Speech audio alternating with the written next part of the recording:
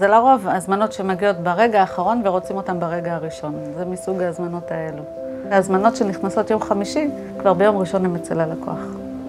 לפעמים גם בשבת אני מחוברת לספק כדי לוודא שמגיע המשלוח. כל יום שעובר זה הפסד.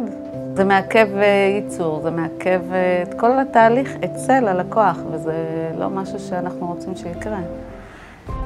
משלוח גדול מסין, והסחורה בלב ים, ומתוך כל הפריטים שהיו שם, היה פריט אחד שהיה מאוד מאוד דחוף ללקוח. דאגתי להביא את הפריט הספציפי הזה במשלוח אווירי מיוחד, מהיר.